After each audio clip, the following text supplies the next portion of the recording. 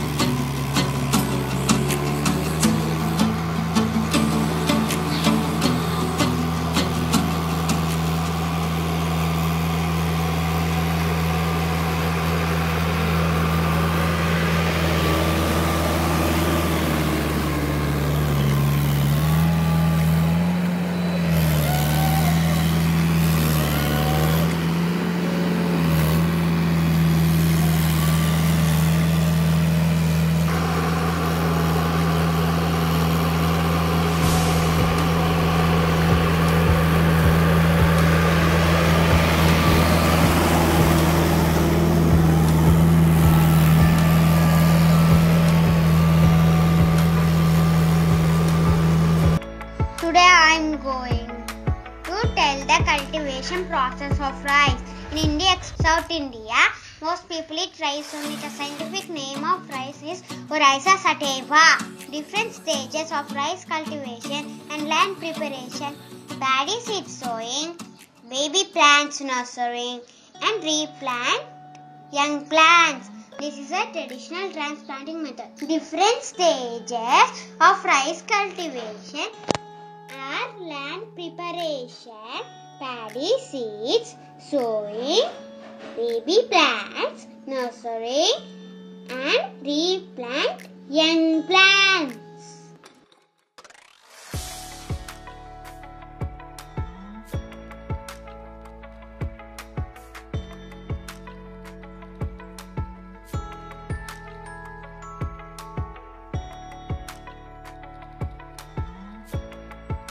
This is a traditional transplanting method.